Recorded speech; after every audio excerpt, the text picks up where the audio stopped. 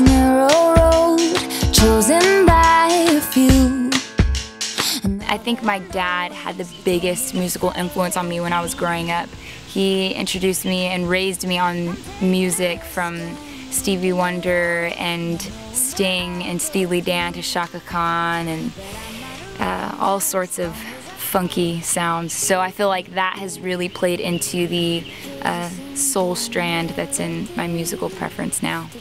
So I auditioned for American Idol my senior year of high school uh, and man, it was awesome. Looking back at that experience, I just know that that was God kind of preparing me for the journey that I'm that I'm on now. The no kissing thing that I'm doing is something, it's a conviction that I've had from the time I was about 14, um, that I didn't want to kiss anybody until I got married.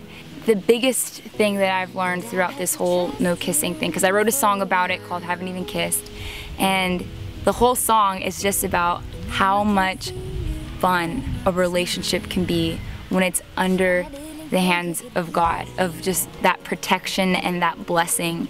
And I've experienced it in my own relationship, and I just I want other people to experience it too.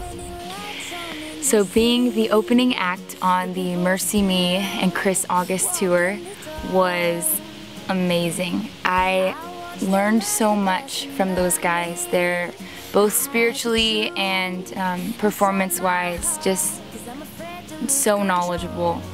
The thing I really enjoyed about it though was that uh, I got to spend more quality time with people after the show.